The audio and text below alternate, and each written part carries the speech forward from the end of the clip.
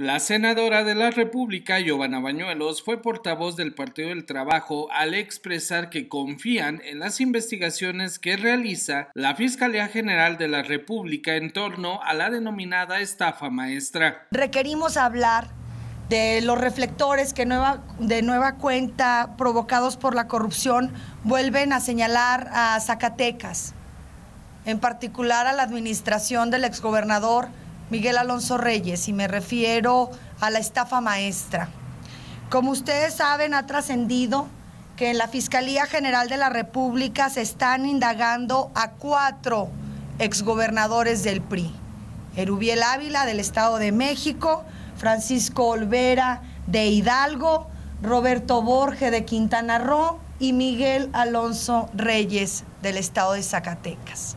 Se les señala y por eso se les está investigando de desviar, de desaparecer más de 5.093 millones de pesos a través de instituciones públicas y educativas necesariamente participaron o fueron cómplices, así lo señalan estas investigaciones, muchos actores políticos, pero particularmente estos cuatro exgobernadores. Las investigaciones incluyen la supuesta participación en la estafa maestra del exgobernador de Zacatecas, Miguel Alonso Reyes. Queremos expresar eh, la postura del Partido del Trabajo, decir que confiamos en los impartidores de justicia, en todas aquellas autoridades que tengan que investigar sobre este monumental desfalco, que para nosotros los zacatecanos, dicho sea de paso, es apenas uno de muchos de los que le conocemos al exgobernador Miguel Alonso Reyes.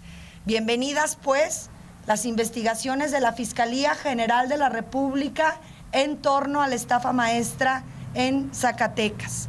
Queremos hacer un llamado a la Fiscalía General del Estado que recuerde que hay investigaciones que están en su poder, que desde el pasado se han realizado, en las que hay cinco averiguaciones previas abiertas, cinco carpetas de investigación que no han prosperado.